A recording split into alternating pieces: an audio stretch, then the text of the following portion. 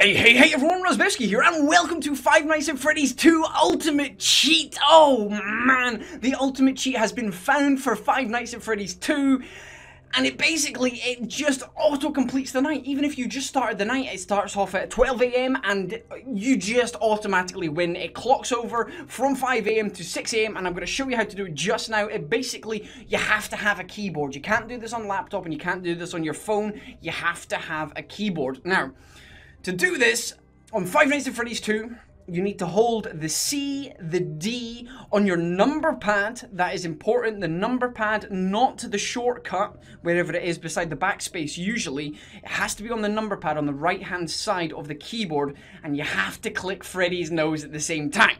So, C, D, plus and click Freddy's nose. Let's just go into Sixth Night and we'll try it out on screen and I'll show you how it gets done and it should work. I have tested it on the fifth night. We'll see. We'll see. Okay, so C, D, plus, click Freddy's nose. There you go. Easy as.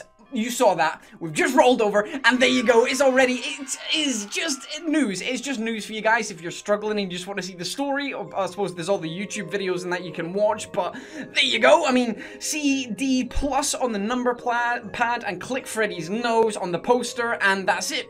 You auto-complete the night. It's pretty worthless. Um, I'd...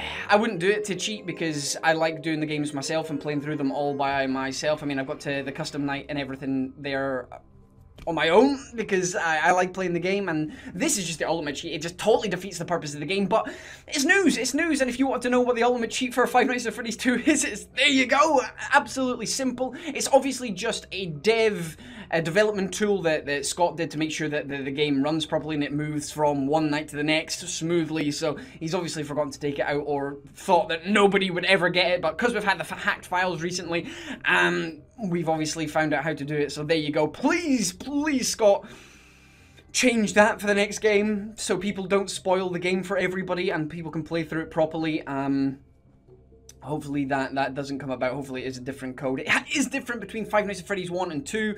1 is everything like that, the, the C, the D, the plus, and it just automatically does it. But in Five Nights at Freddy's 2, you have to click Freddy's nose there. But there you go. Hopefully you've enjoyed this quick little video. Um, I was bringing you the news of this awesome, awesome uh, ultimate cheat. And uh, if you enjoyed it, then please hit that like button. And I will see you later for more Five Nights at Freddy's videos. I've got an awesome, awesome theory coming out later on today, so get your eyes peeled for that. It could be mind-blowing if it is true. But I've been Razzbowski, you've been the beautiful bastards as always for watching, and I love each and every single one of you. Goodbye!